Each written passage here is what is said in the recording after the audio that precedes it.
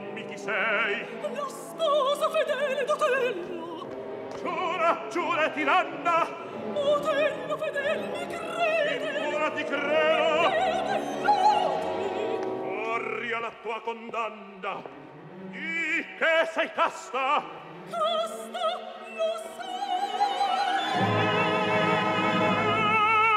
Ora tiranna.